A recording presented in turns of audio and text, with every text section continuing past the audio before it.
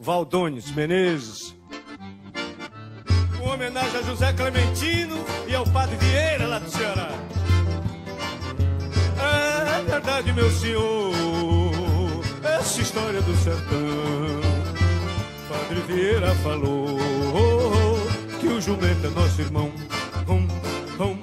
Só Luiz Gonzaga para se lembrar mesmo do jumento. O jumento é nosso irmão, quer queira ou quer não. O jumento sempre foi o maior desenvolvimentista do sertão.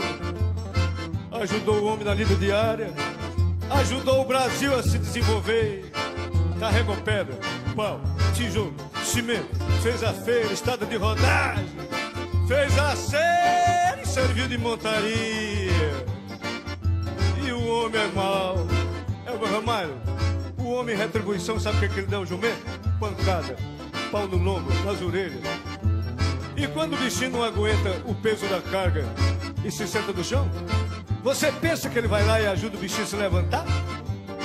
Pois sim, faz é um foguinho debaixo do rabo dele. Jumento é bom e o homem é mau. O homem só presta para botar apelido no jumento. O pobrezinho tem apelido que não acaba mais. Babau, fofachão, imagem do cão, musgueiro, cineiro, seresteiro, relógio, é! Ele dá a hora certa no sertão. Estudante, professor e advogado das éguas.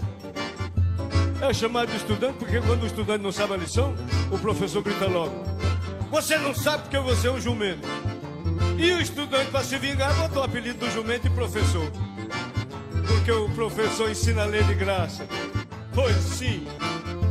Quem ensina a lei de graça é o jumento, meu filho. É assim, ó. A, E, I, O, U, Silone, Silone. Só não aprende a ler quem não quer. Eu tô aqui, jumento, para reconhecer o teu valor. Animal sagrado, serviu de montaria quando nosso senhor era pequenininho. Todo jumento tem uma cruz nas costas, não tem? Pode olhar que tem. Foi ali que o menino Santos fez o pipizinho. Por isso ele é chamado de sagrado. E o jumento nunca vai se acabar. Pode vir Bolsa Família, Bolsa Preguiça, Bolsa Doada, Bolsa Zoada. Agora, meu patriota, pego-me do meu sertão.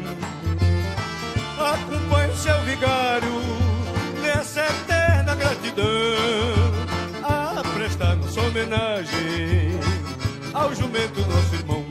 Hum, hum, hum, vocês. Hum, hum. Eita! Pega o jumento, Pinheiro! Eu vou falar naquela mesa.